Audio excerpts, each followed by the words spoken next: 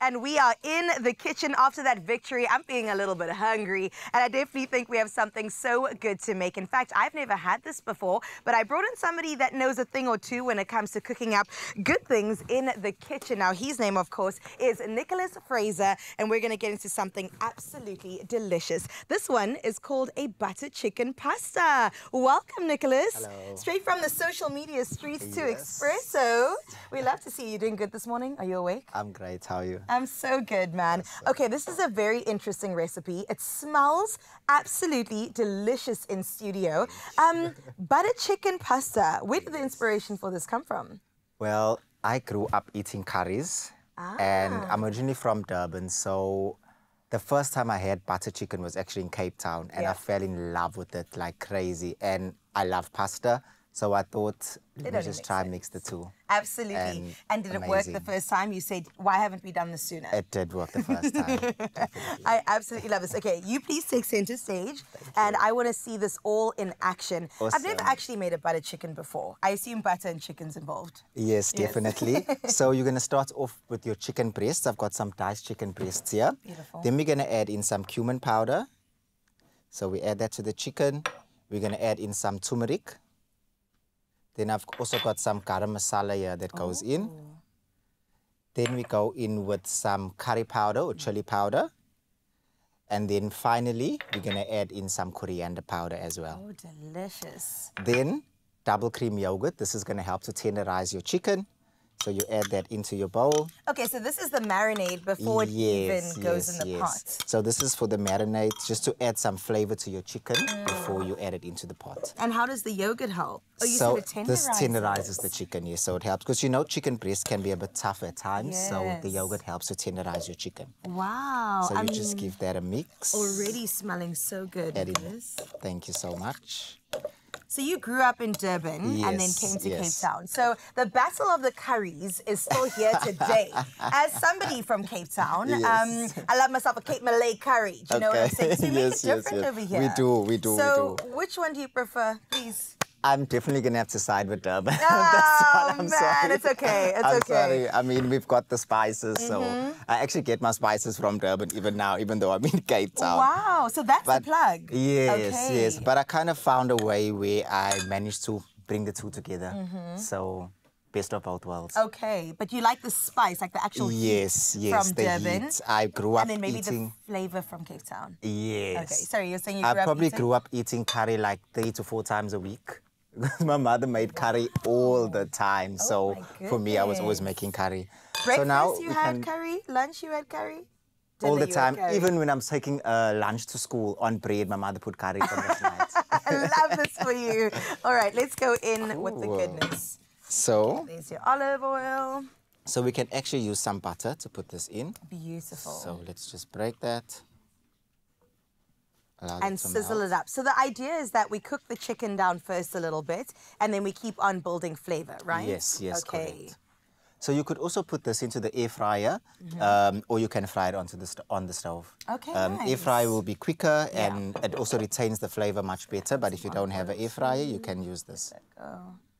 Awesome. So you can use an air fryer. My millennial heart is so happy that you said that because the less easier. time I spend in the kitchen is probably better. Yes. Um, so you can chuck this in the air fryer as is. And while this is in the air fryer, you can already start building your butter chicken. So at the same time, it's going to be ready. Now with this process, you fry this first, and then you have to take that out, and then you start your, your rest of your process. Beautiful. Well, speaking of, let's get frying. Throw that in there. And the rest of the, the ingredients are looking so good. Yeah, I'm seeing we've got onion, garlic, ginger, all good things that make a good curry. Yes. Tomato paste. And of course, what is it without the chili? Chili is very important.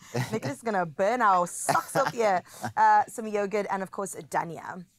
All right, we so, just we're going need to get that to frying fry. away. Let's see if we can turn that up a little bit for Yes. you. There we go. Oh, perfect. And then this is also really good if you've got leftover Pasta, um, pasta perfect. right? Even if it comes from the freezer, defrosted, and you're ready to go.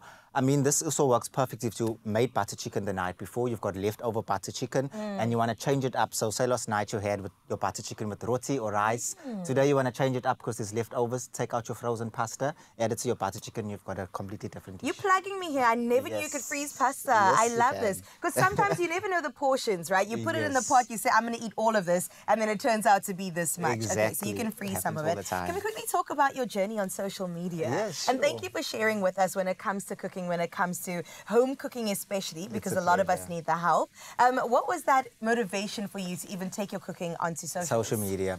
So I always loved cooking from a very young age. Um, and I was actually quite nervous to put myself out there on socials, like, you know, social media, how it is sometimes. And um, so my friends actually started convincing me, like, you know what, you can cook, why don't you put yourself out there on social media? That's where I learned about TikTok. I actually didn't know much about TikTok before then. Um, I had Instagram, but I didn't really post my food content on Instagram.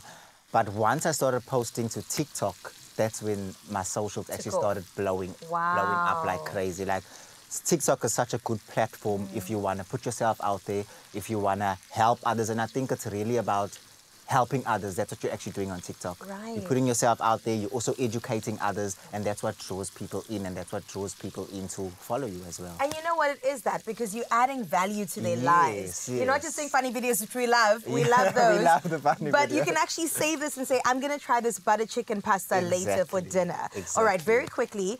Let's once that cooks, how do we put this together? Also in the pan? Yes, so Okay. So we're gonna use exactly the same pan that we fried the chicken in. We're gonna Mm-hmm. take the chicken out once it's done, and what this does, it retains the flavor. So all the chicken, the, all the flavor from the chicken that's left in the pot, we wanna keep that flavor. Mm-hmm. Yeah. Then we just continue building, adding in our onions, ginger and garlic, the rest of our spices. Tomato paste goes in. Then we're gonna blend it a bit, add in our yogurt, and then back with our chicken and our pasta. and You say done. blended? Yes. Okay. There's a blender. So, So you blend the ingredient. That's what makes it so You- smooth. Yes, yes.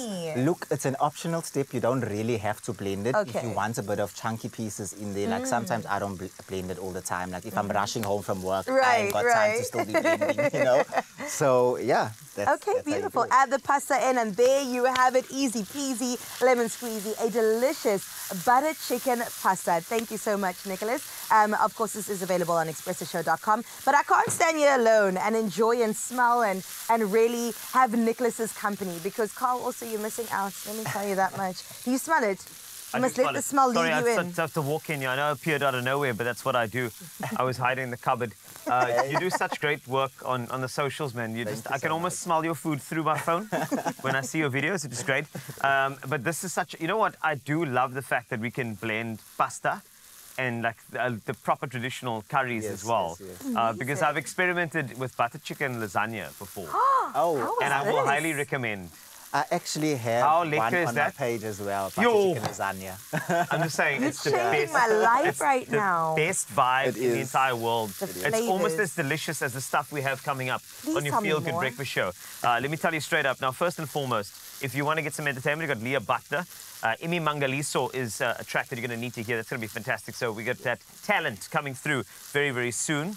And if you want more, do you want more? I want so much more. Now, you know that Games Black Friday deals, you know they launched them around Black Friday? Now, the thing is, uh, what I've done is that I've mailed Game and I said, do you mind giving us a heads up on some of the deals? And they said, uh, we'll think about it, Wasty. But I said, I'm going to do, I'm going to put it on national TV. And they said, okay, it's fine. So that means that I can give you a little leg up on some of the Black Friday deals that you cannot miss way before Black Friday. So make sure you stay there. This is your Feel Good Breakfast Show filled with amazing, nutritious, delicious meals, mm-hmm. curry and pasta and deals. It's amazing. I know.